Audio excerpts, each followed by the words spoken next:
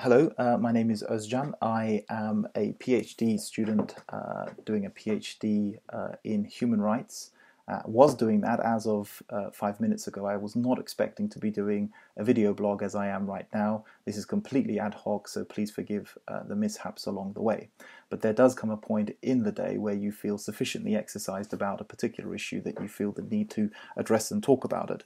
Um, uh, what is that particular issue? Um, in Turkey right now, we have uh, uh, one of Turkey's largest conglomerates, Akın İpek uh, conglomerate being taken over by the Turkish government and Turkish authorities. Now, this conglomerate um, works mainly within the mining industry, is 100% Turkey owned, is one of Turkey's highest taxpayers, and it also has a, a significant media arm. Now, within the media, it has two TV channels, two newspapers, numerous radio stations, and uh, numerous uh, uh, news websites. This media, what's significant about it is that it is independent of the government. And in that sense, it asks the questions that need to be asked and it allows time, airtime to oppositional leaders. Uh, it is not necessarily very critical in that sense, it is independent. Uh, but being independent of the government uh, is construed as being uh, particularly critical.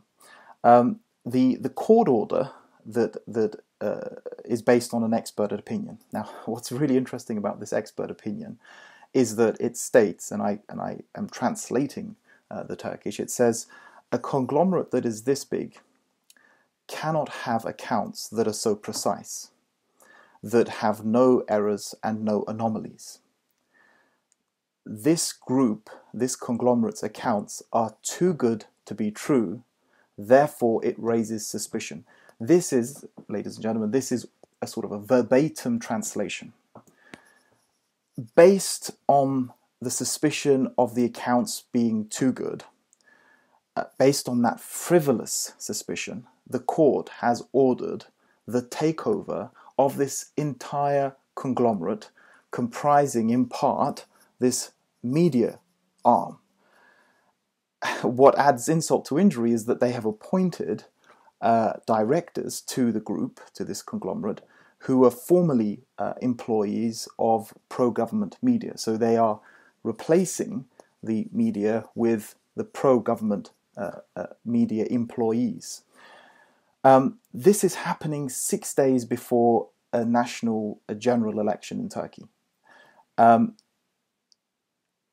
as a result, this is impacting the free and fair elections in Turkey because there are very few news outlets through which oppositional leaders can speak, through which NGOs can voice their concerns, through which the media can ask fair and critical questions, through which society can hold the government and ministers to account. There's very few arenas left in which that can be done. Just last week, seven uh, news, uh, seven TV channels that are considered to be critical again by the government were removed from a number of cable TV uh, uh, platforms and from satellite uh, networks. So one day you've got these seven channels, the next day you haven't. Um, all of this just uh, reiterates the point that came out today. The TV, Turkey's TV regulator, uh, provided some stats today uh, that that over the last 25 days, remember in the run up to a general election, the AKP has been awarded 30 hours of airtime on Turkey's TV channels, presumably, uh, or on the state TV channel. I have to check that. Um, Erdogan was uh, given 29 hours.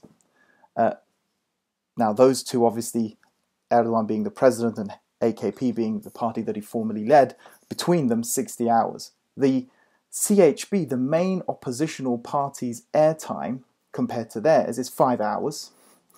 And the HDP, the other oppositional party, compared to the 30 hours that the AKP got, they got 18 minutes. That's one eight minutes of airtime. This is just demonstrates how critical and how biased uh, uh, it is going up to these general elections again. Um, the, the, the, the point I, that I think I'd like to make is that um, those of us that consider Turkey to be a very important country, that love the country for, for different reasons, that consider it to be strategically important, to be an important ally of the UK, must be critical friends at this point.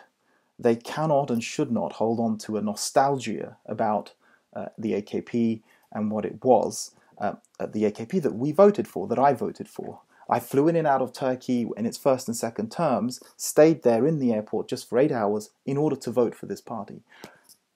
That nostalgia we need to put on hold for, for a moment because while chasing that, we are in fact losing Turkey, uh, an important ally, an important country, uh, and the people of Turkey. So it's important that friends uh, speak out to their friends and tell them what's going on. There are f- elections that are coming up.